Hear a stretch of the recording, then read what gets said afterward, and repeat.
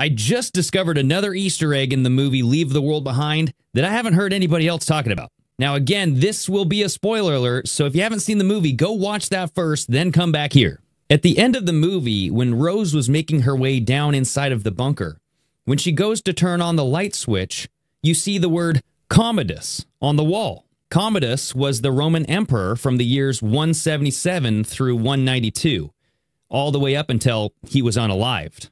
The death of Commodus is commonly known to mark the end of the golden age of peace and prosperity for the Roman Empire.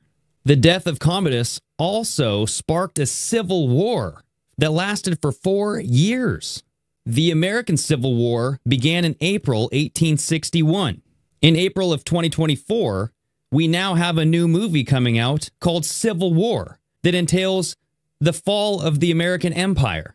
So, what are they trying to tell us in the movie Leave the World Behind? Leave the World Behind is about the fall of America. And then at the end of the movie, you have the word Commodus, who's associated with the fall of the Roman Empire and the outbreak of a civil war. And now you have this new movie coming out, Civil War, right around the time of the anniversary of the American Civil War? I mean, what are the odds of all of these events correlating and coming together right now?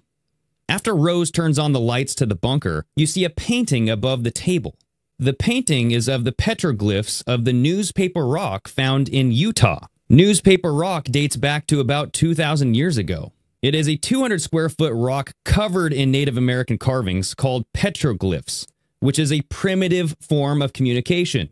So are they telling us we are about to go back to having to write in a primitive form of communication? So you have a movie Leave the World Behind about communication going down.